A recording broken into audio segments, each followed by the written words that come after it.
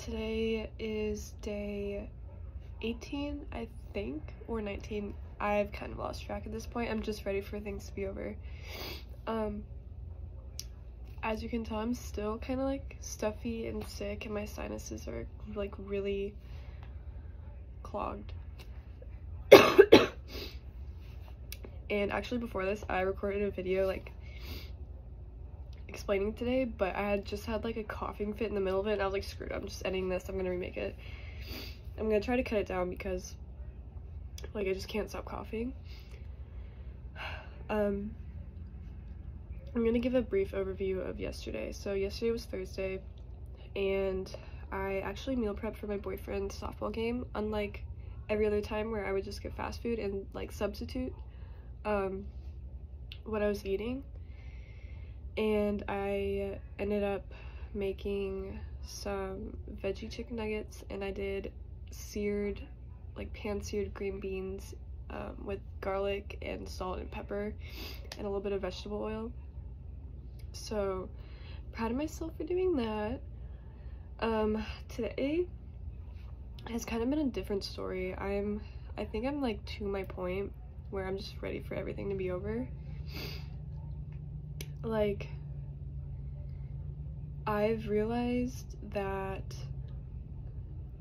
diets, like you can be motivated to do something, right? You can be motivated to study, um, you can be motivated to go to the gym. You can be motivated to eat on a diet and stay clean. But motivation only lasts so long. And then you kind of just get to like a like a lazy point, you know?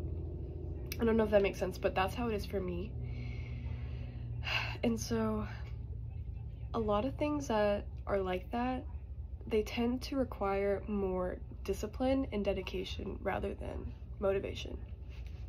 And I have realized I do not have a lot of self-control or discipline what but like I haven't cheated on the diet yet but I'm just avoiding like doing this whole project like kind of I'm still doing it but I'm not like fully committing like um choosing to eat salads or greens with every meal or fruits like in between.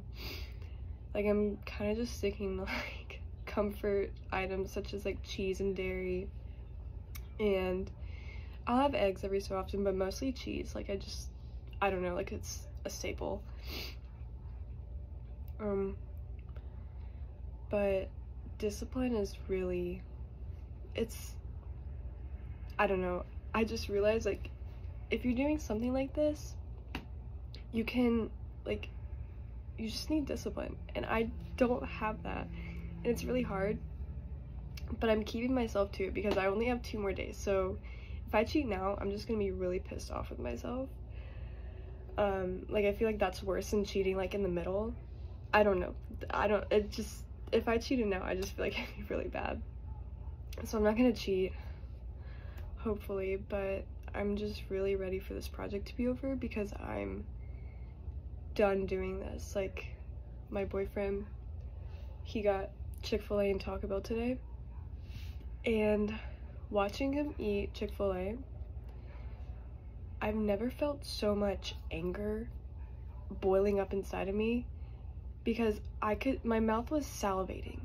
Like looking at a chicken sandwich and chicken nuggets. And I I'm mad right now thinking about it.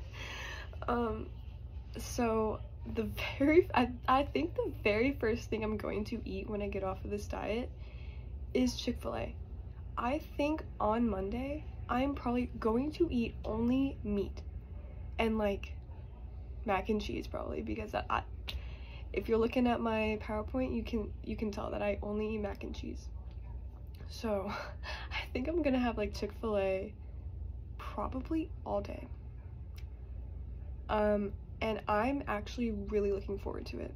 I'm probably gonna eat whatever I want like the day when the day comes. I'm really looking forward to Monday. I might put it like on my calendar, like just circle it with a star and a happy face, like, yeah, you did it. Now eat as much food as you want, Chick-fil-A.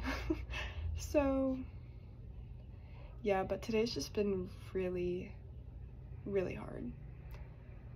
So, wish me luck Saturday and Sunday. So, I'll update you then.